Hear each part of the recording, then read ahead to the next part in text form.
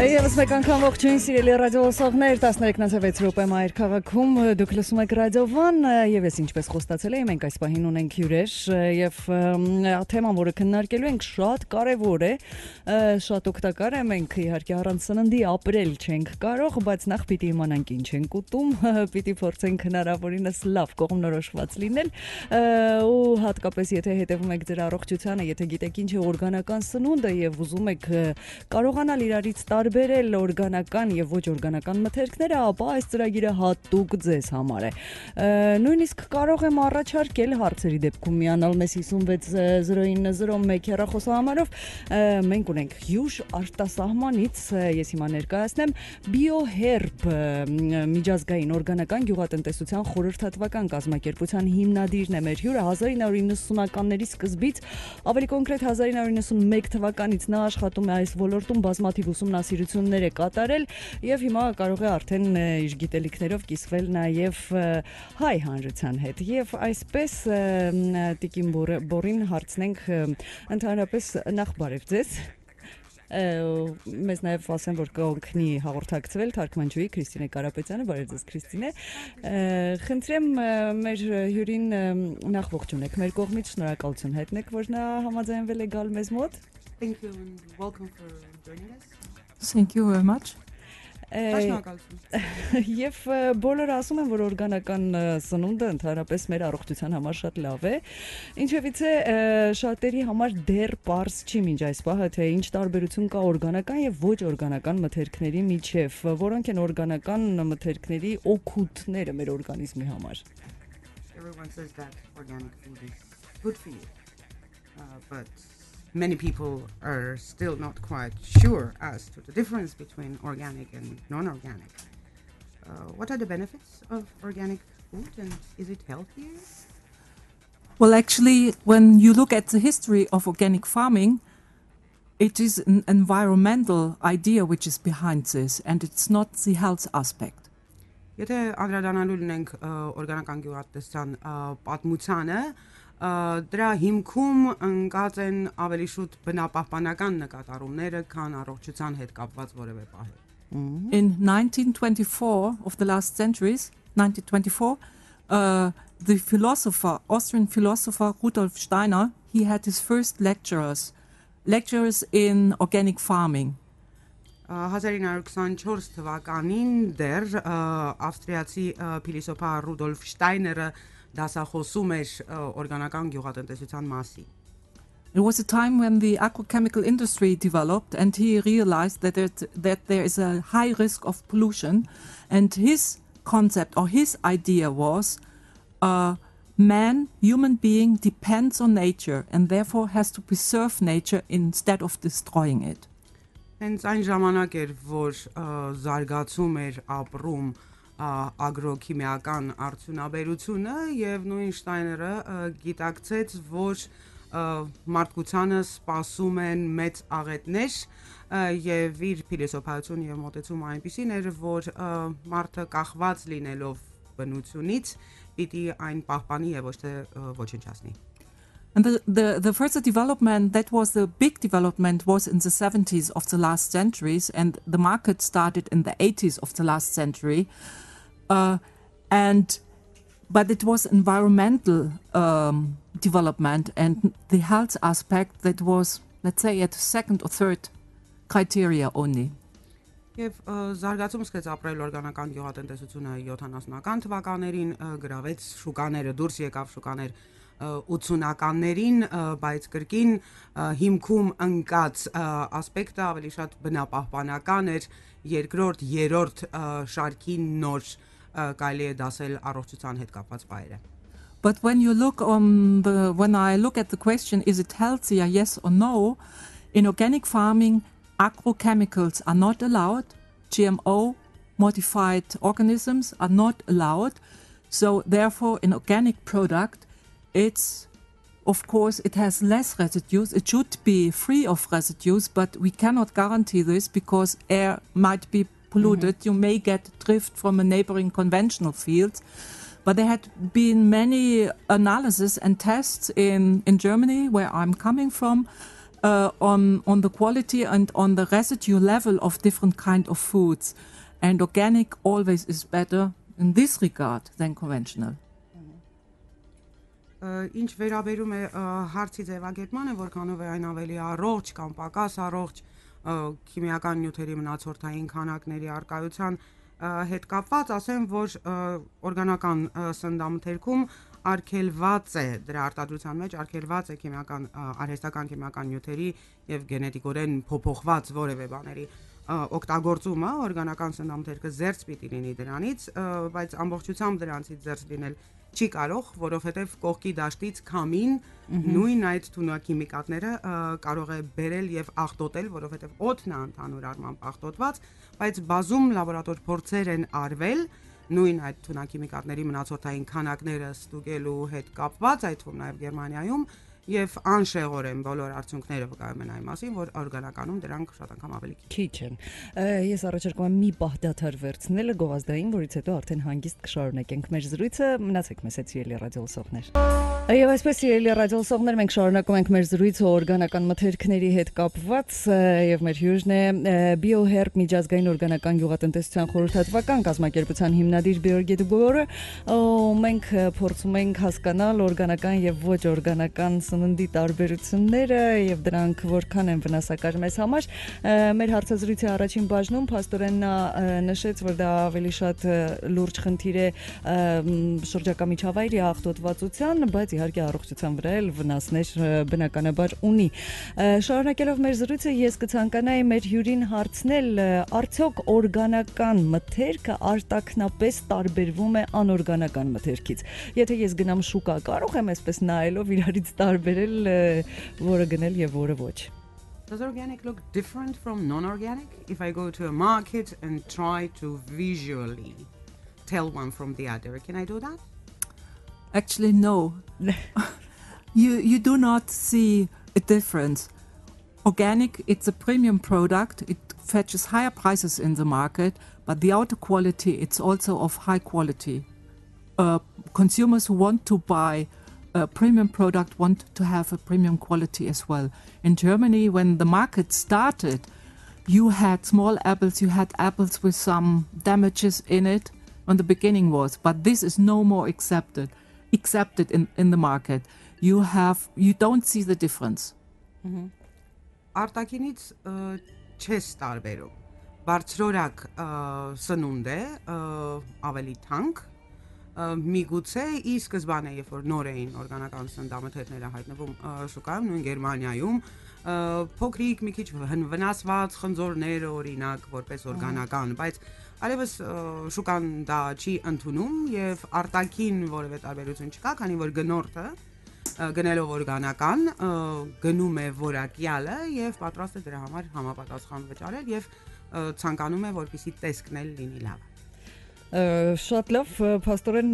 մեր բոլոր այդ պատկերացումները, որ փոքր է, մեծ է, չափերի գույների հետ կապված, որ ընտրում ենք երբեմն վնասվածը, բայց հուսով ենք, որ դա բնական է, փաստորեն իրականություն չի, ոչ մի կապ չունի։ Which means that our ideas about Չէ, սա ուղղակի ես որպես ամփոփում եմ ասում, որ չեն կարող իմանալ, այլ պետք է երևի զարգացած երկրների պես ուղղակի պիտակավորել, որ սա կոնկրետ օրգանական սնունդ է։ Գիտնականները ասում են, որ օրգանական սնունդը ավելի կարճ պահպանման ժամկետ ունի։ Արդյոք դա ճիշտ է, թե ոչ։ scientists say that shelf life for organic produce is shorter. Is this actually true? This actually is not true. Very often it is opposite. When you have, for instance, uh, tomatoes grown in glass houses and greenhouses with uh, soluble fertilizers, they grow very quickly and uh, in are ripen in very short time. But this quick development means that they have uh, very large cells with thin cell walls and therefore the evaporation is much quicker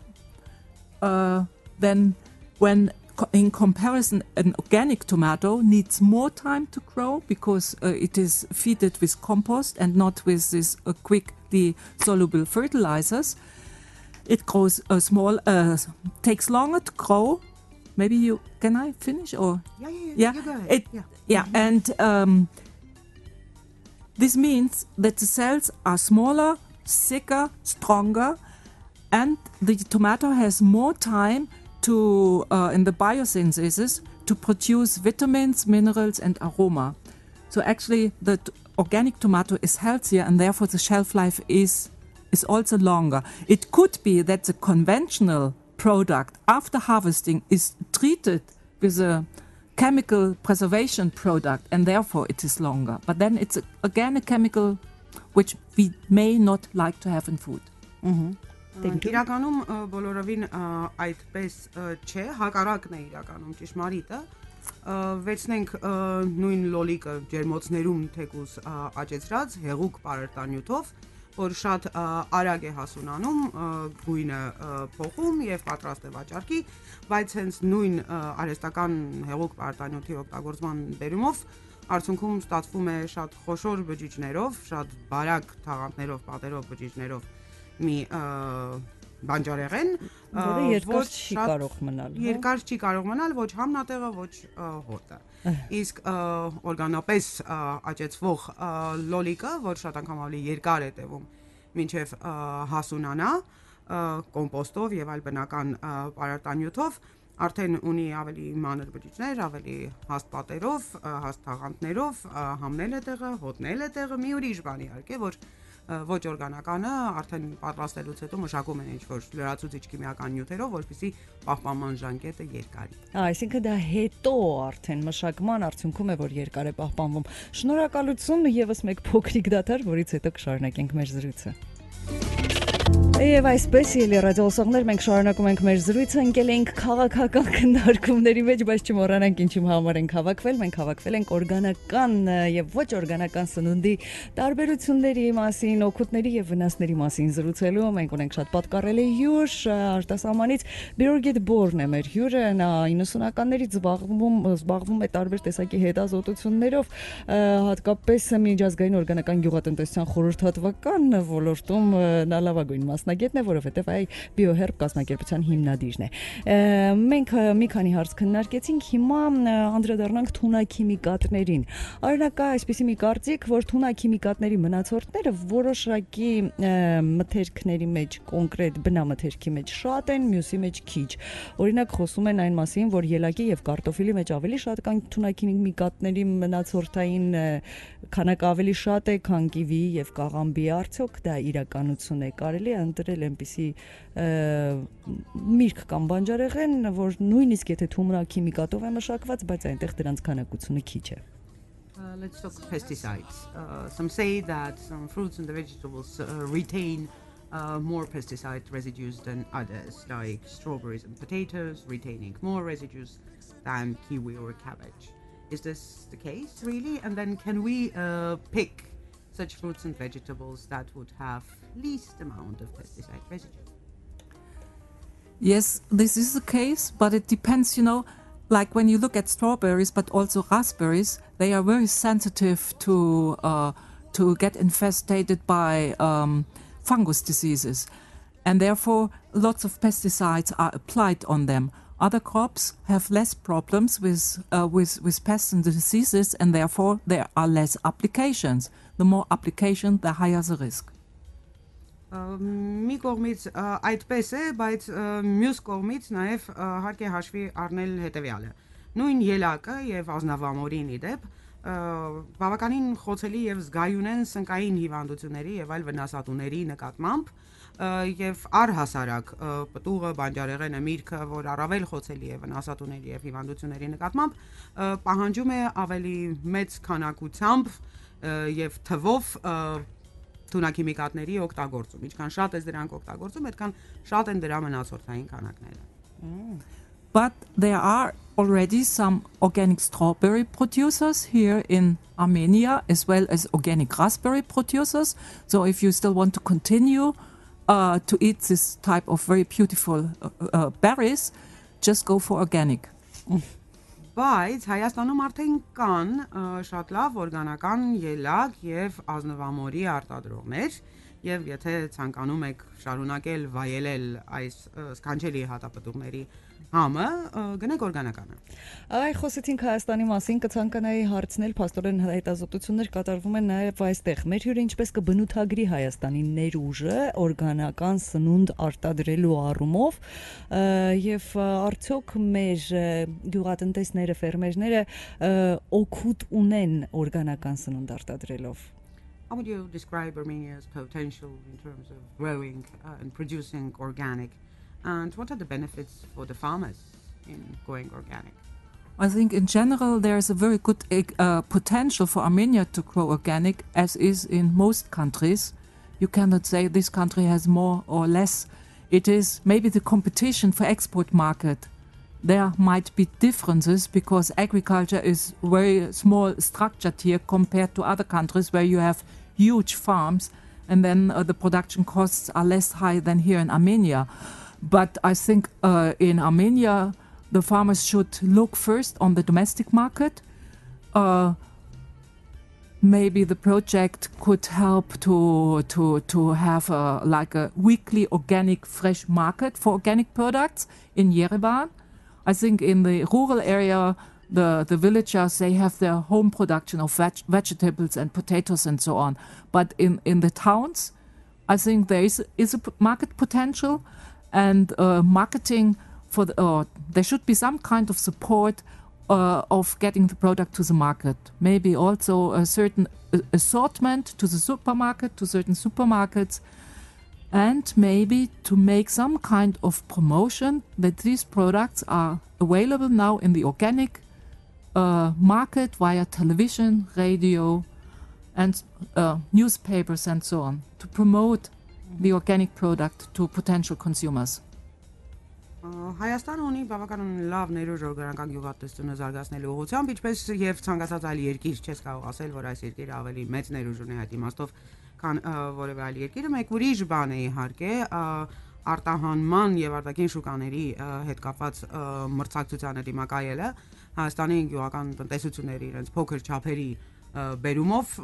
կդժվարանան մրցել շատ անգամ ավելի խոշոր արտադրողների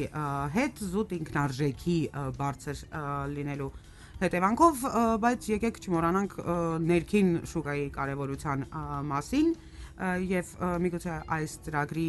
շրջանակներում եւ շնորհիվ հնարավոր կլինի ինչ որ մի աջակցություն ցուցաբերել այն իմաստով, որ միգուցե գյուղատնտեսական սննդամթերքի, օրգանական սննդամթերքի վաճառք կազմակերպի ամեն շաբաթ քաղաքաբնակ վայրերում, ինչը երևի կարևոր եւ տեղին, եւ նույն օրգանական սննդամթերքի արտադրողները միգուցե սուպերմարկետներում նաև հնարավորություն ունենան իրացնել իրենց սննդամթերքը, ինչի համար իր հերթին երևի որոշակի աջակցություն է պետք գովազդի իրազեկվածության բարձրացման տեսքով նույն լրատվամիջոցների միջոցով Շատ լավ, իսկ եթե արտադրողը պնդում է, որ իր արտադրանքը բնական է, արդյոք դա բավական է հավատալու համար, որ օրգանական է սնունդը կամ բնական եւ օրգանական դրանք նույն բաներն են արդյոք թե ոչ։ If a producer claims that his or her produce is natural, does this automatically mean that it is also organic and Since the 60s, we have, uh, at least in Western Europe, we have standards for organic farming. These were private standards by different private organic farmers associations. And since 1992, the EU regulation on organic farming was implemented, came into force. So, uh, a product, in order to be declared and labeled and marketed as organic, means it has to meet the requirement of the certain standard. I have learned that here in Armenia you have Green Caucasus, which is a standard which is common with Georgia. So, and uh, if the farmer, if the production system methods of the farmer meets the requirement of the standards, yes, then it is organic. Դեռ 60-ականներից սկսած Եվրոպայում տարբեր մասնավոր միավորումների կողմից մասնագիտական սկսեցին մշակվել եւ կիրառվել օրգանական գյուղատնտեսության ստանդարտներ 1992 թվին հրապարակվեց եւ ուժի մեջ մտավ Եվրամիության համապատասխան օրենսդրությունը, օրգանական գյուղատնտեսության վերաբերալ եւ օրգանական լինելը նշանակում է այնտեղ ամրագրած չափանիշներին համապատասխանելը Հայաստանում, ինչքանով տեղյակ եմ, գործում է կանաչ Կովկաս Green Caucasus ա, ստանդարտների ամբողջությունը, որ նույն է, ինչքանով տեղյակ եմ, ինչ Վրաստանում է կիրառվում եւ այդ ստանդարտի ներքո պահանջներին բավարարելը նշանակում է օրգանական սննդամթերք ունենալ։ Եթե գալիս է ֆերմեր, ասում է, որ այդ պահանջներին բավարարում է, դա արդյոք բավական է, թե կատարվում են հետազոտություններ, անալիզներ են արվում մթերքների, որպեսզի մենք վստահ լինենք, որ այո, դա օրգանական է եւ դա իսկապես վստահում է համապատասխանում է ստանդարտներին եւ հետո արտասահմանում ես նկատել եմ, որ ցանկացած մթերքի վրա պիտակ կա կպցրած։ Հայաստանում արդյոք դա արդեն ո, իրականություն է վ- ուժի մեջ մտել է, թե դեռ կա ժամանակ դրան հասնելու համար։ Uh, is an oral statement by a producer about his or her produce being organic sufficient, or there are some lab tests in order? Then I uh, noticed elsewhere that organic produce uh, has a label. Uh, does Armenian organic produce uh, have such a label yet? Yes, they have. So, an oral statement, it is not sufficient. Uh, there is even the requirement to be certified according to the standard. And if the, the certification is positive, then the producer is allowed to label the product as organic. The product really has to be labeled. Without labeling, it's not allowed to sell uh, as organic product All the standards uh, they cover the production uh, requirements plus labeling. In the label, you also have to see who is a certification body. It has to be traceable as a proven um, requirement. Ա, Իրոք որ ա, անհրաժեշտ է ա, այդ ա, պիտակը եւ կան ա, բանավոր խոսքը բնականաբար բավարար չի ա, կան հավաստագրման, այսինքն սերտիֆիկացիայի պահանջներ, որոնք հարկ է բավարարել եւ միայն այդ պահանջներին բավարարելու դեպքում արդեն արտադրողը իրավունք է ստանում իր սննդամթերքը պիտակավորել որպես օրգանական եւ վաճառել այն որպես այդպեսին ի դեպ օրգանականի հետ կապված պահանջները վերաբերում են թե արտադրմանը, թե պիտակավորմանը, մասնավորապես պիտակի վրա ա, հավաստագրող սերտիֆիկացնող, այսինքն մարմնի մասին նույնպես տեղեկատվություն պիտի զետեղված լինի։ Շնորհակալություն մենք նաև բոլորս ուզում ենք լինել առողջ բոլորս ուզում ենք առողջ ապրել երկար ապրել եւ շատ ժամանակ մենք անհանգստանում ենք որ բացի շրջակա միջավայրի աղտոտվածությունը որը եւս իհարկե իր դերակատարումը ունի հա մեր աճեցրած ապրանքների մթերքների վրա բայց դրան էլ ավելանում են թունաքիմիկատները եւ մեզ թվում է որ այս հիվանդությունների շատ տարածումը շատ հիվանդությունների երիտասարդացումը եւս կապված է այն սննդի հետ, որ մենք օգտագործում ենք։ Ի փաստորեն քայլեր արվում են Հայաստանում եւս օրգանական սնունդը գովազդելու եւ դրա արտադրանքի համար համապատասխան այսպես պայմաններ ստեղծելու համար եւ եւս մեկ հարց է ուզում տալ, սա գնում է դեպի ամփոփման, բայց զուտ ֆինանսապես մեր ֆերմերները օգ օգուտ են ունենում թե վնաս օրգանական սնունդ արտադրելուց, այսինքն դա աճեցվող մթերքի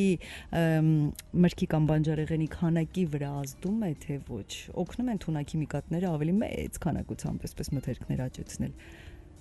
Կներեք ոչ մասնագիտական հարցի համար հետաքրքիր է ուղղակի։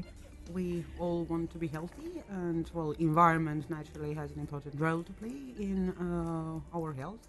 Uh, but then what we eat also matters, and perhaps we think uh, this uh, increasing morbidity rates and prevalence of certain diseases, increasing prevalence, has to do with what we eat. Uh, hence, uh, well, the question about relationship uh, between uh, organic food and uh, health, and then uh, a financial question uh, for Armenian farmers. Is it uh, financially justified to go organic? And can they increase their yields and accordingly reap more benefits from it? Mm-hmm. This is an amateurish question, but still. Yeah, okay. So the first question regarding health, yes, I would say organic food is healthier. Because you have less risk of pesticide contamination. And in order to uh, have a healthy living, good and healthy food, it is one factor of others, like not too much alcohol, not too much cigarettes, mm-hmm. some kind of sports, less stress, and so on. But healthy food, it's an important key issue for having a healthy life. Yeah. And նախ եւ առաջ առողջության վերաբերալ իրոք առողջ օրգանական սննդամթերք սպառելը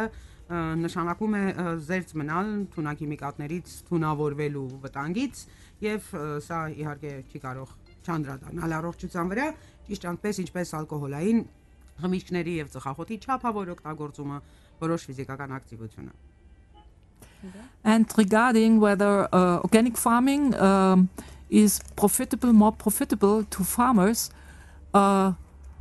in general speaking, I would say yes, but it also depends on the cost, that is the certification cost. And if farmers are very small, here I have learned that some farmers have less than one hectares, then maybe certification costs may become too expensive because there is a need uh, for certification and uh,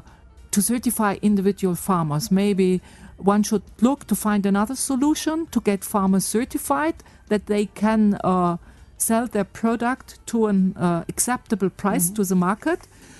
And uh, in general, when farmers work with no pesticides, this is also for their health very good because when you apply pesticides,